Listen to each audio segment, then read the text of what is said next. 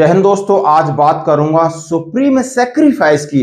मतलब सबसे बड़ा त्याग क्या होता है? और सबसे बड़ा त्याग का संबोधन और त्याग की परिभाषा जवान के साथ जोड़ी गई है कि जवान हमेशा अपना सुप्रीम सेक्रीफाइस कहता है। यानी सुप्रीम सेक्रीफाइस यानी खुद का बलिदान दिया, यानी खुद वीर गति को प्राप्त हुआ और पूरा परिवार एक माँ के लिए उसका बेटा बिछड़ता है, बाप के लिए कंधे का सहारा जाता है बहनों के लिए उसका एक भाई जाता है, पूरा परिवार शहीद हो जाता है, इसको बोलते हैं, यानी सुप्रीम सेक्रीफाइस और ऐसा एक होता है जिसकी उम्र सिर्फ़ 22 साल हो और सर्विस सिर्फ़ दो साल हो। एक ऐसा जवान जिसने हाल ही में सेना में कदम रखा हो और उसके साथ ऐसी वारदात हो जाए, ऐसी घटना हो जाए तो आखिर कौन नहीं टूटेगा, कौन नहीं पिघलेगा दोस्तों, किस माँ का कलेजा नहीं फटेगा।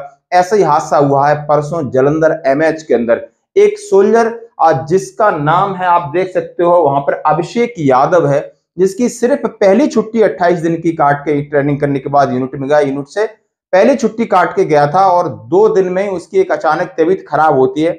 जलंधर में एडमिट कराया जाता है और वहाँ उसका निधन हो जाता है। घर वालों को नहीं बताया जाता, घर वालों को बोलता है, नहीं, आपका बेटा बीमार है, उसकी बहनें और उसके पिताजी जाते हैं। जब वहाँ पर ये हादसा, ये दृश्य देखते हैं कौन सा पहाड़ नहीं टूटेगा, कौन नहीं रोएगा, मात्र उसकी आप स... उम्र देखो 22 साल है, अभी 2019-20 में भर्ती हुआ था, दो साल सर्विस थी, दोस्तों आप जान सकते हो।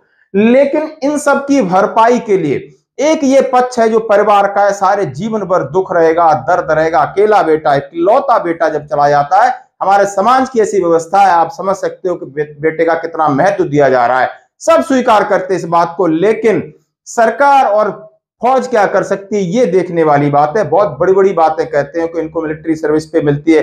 इनको इतने अलाउंसेस मिलते हैं हार्ड से अलाउंस मिलते हैं। लेकिन वो अलाउंस आज कितने कम और बोने नज़र आते होंगे? जरा उनको पूछिए, उनकी माँ को पूछिए। फिर भी मैं बड़ी बात कहूँगा, तत्काल वहाँ के एक रहने वाले उत्तर प्रदेश उन्नाव श्री पतपुर उन्नाव के अंदर है और वहाँ के मुख्यमंत्री जी ने तीन बड़ी घोषणाएँ की। मैं उस बात की बात पे आता हूँ कि ऐसे सभी का दिल दिखाना चाहिए ताकि लोग उनकी शहादत तो हो गई, लेकिन बाकी लोगों को प्रेरणा इस बात से मिलती है कि उन्होंने 50 लाख कैश जाकर उनके घर दिया। एक सरकारी नौकरी यूपी गवर्नमेंट में देने का वादा किया और अभिषेक के नाम पर एक सड़क बनेगी, उसका नाम अमर करेंगे हम। बहुत अच्छी बात है। इस पहल का हम स्वागत करते हैं। ये उससे हट के है लेकिन सरकार या मिनिस्ट्री ऑफ़ डिफेंस, ये सब जो पहलू होते हैं दो चार दिन उन्हें देखने को मिलता है, समझ में आता है, लेकिन ज़िंदगी भर इनका दर्द कहा जाएगा। माँ का इकलौता बेटा, पिता, बहन, इनका इनका सब कुछ उजड़ गया। दोस्तों, इसके बारे में आपका क्या ख्याल है? हमारी मिलिट्री सर्विस पे हार्ट सिप्लाउंस तनख्वाह फैसिलिटीज़ बहुत बोने होते हैं, इतना परिश्रम है आजकल फौज में, इतनी तंगी है एक जवान के लिए कि शायद जवान जब घर से जाता है ना, सिविल ड्रेस उतार के अपने बॉक्स में डाल देता है, आने के बाद स्टेशन पे पहनता है।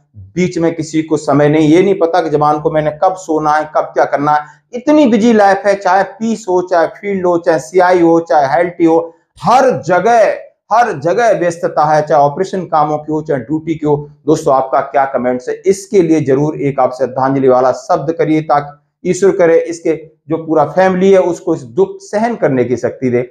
जय हिंद दोस्तों।